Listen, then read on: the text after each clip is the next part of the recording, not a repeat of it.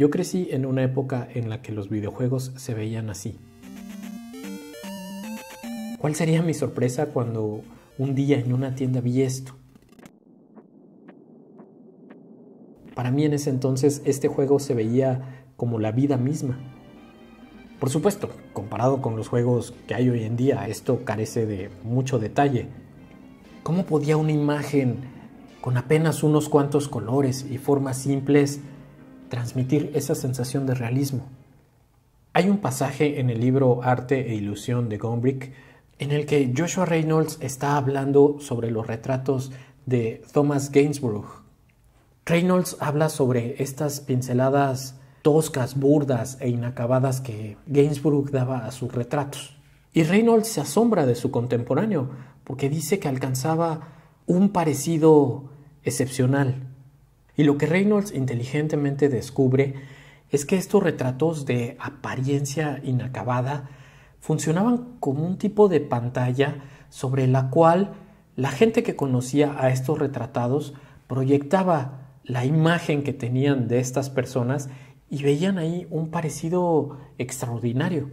Y Gombrich añade que estos cuadros que no están detallados a la perfección permiten a la imaginación del espectador jugar y que este juego a la hora de ver una pintura resulte bastante atractivo. En mi experiencia personal, pintar un retrato por encargo siempre ha sido muy difícil. Aunque uno calque la fotografía que nos han dado y se esmere por representar las formas con mucho cuidado, el cliente siempre ve el resultado y te dice, no se parece. El cliente tiene en la mente una imagen que se ha formado que evidentemente no es la real. Y a todos nos ha pasado. Cuando observamos detalladamente a una persona que conocemos bien, empezamos a verle rasgos que no conocíamos, como cuando repetimos muchas veces una palabra y ésta pierde su sentido. O cuando vemos fotografías de nosotros mismos, no nos reconocemos en ellas. Construimos una percepción de lo que vemos, pero la realidad es diferente. No quiero decir que un retrato hiperrealista o muy detallado no se vaya a parecer a la persona, pero quizás una alternativa interesante sea simplificar en lugar de detallar y dejar que la imaginación del espectador termine la pintura.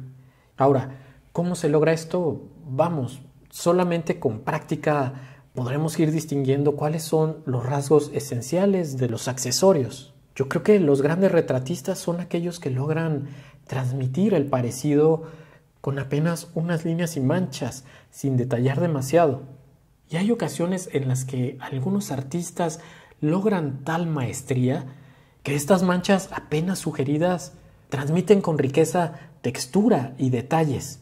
Lo único que no quiero que perdamos de vista es que trabajar con mucho más cuidado y detalle no equivale siempre a mayor parecido o realismo.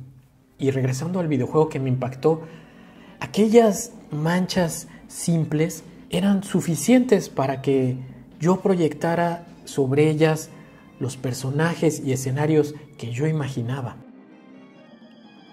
Y en palabras del Dr. Sheldon Cooper, este juego corre sobre el chip gráfico más poderoso del mundo, la imaginación.